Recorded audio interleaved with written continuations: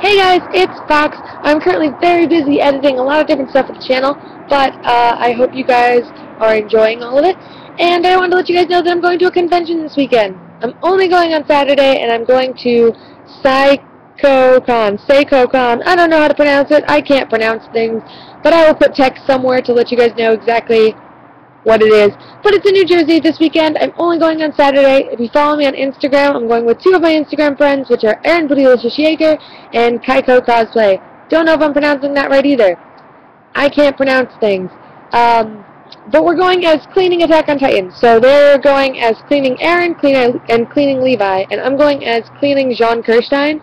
So it's Jean Kirstein, uh, but with a white button down, the white pants, the brown boots, and a white bandana either around my neck or face, a white bandana on my head, and then carrying cleaning supplies. So maybe like a spray bottle or a rag. I don't know yet. But um, because I don't know anything about this con, I've never been. Uh, I heard it's small.